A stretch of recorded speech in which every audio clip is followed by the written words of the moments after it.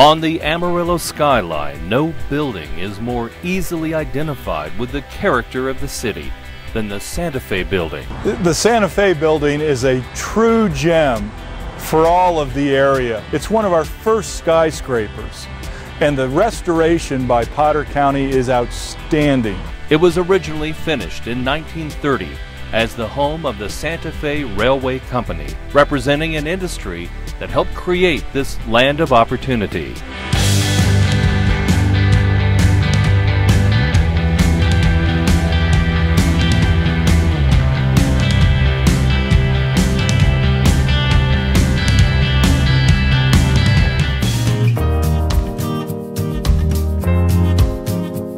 John Jenkins was the project architect for the restoration of the Santa Fe building undertaken by Potter County.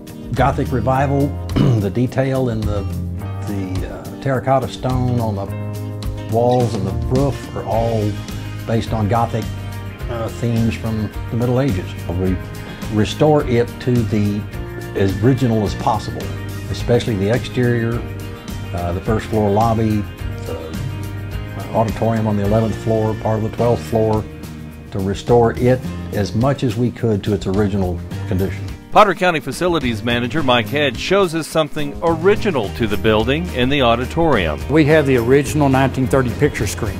I'm going to lower that for you to look at. The screen appears to be in pristine condition, harkening back to a more romantic era. That right there shows where the old uh, movie projection room was. Uh, they would project their movies out of there, their programs, any event that they had here, they would show on this picture screen. Santa Fe never planned on building another building after this, similar to our county courthouse.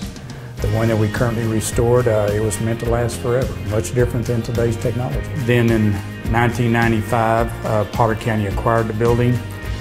Then we found out that there was uh, TxDOT federal transportation money out there to help fund on the historic building. So actually this was a two-funded project. Potter County paid for part of it and uh, TxDOT paid for the other portion. During the uh, preservation project, we opened some walls up and we actually found a pair of these old boots within the walls. And we get to do business in it every day. We really don't appreciate it the way we should. Celebrating the Panhandle spirit, Larry Lemmons, ABC 7 News.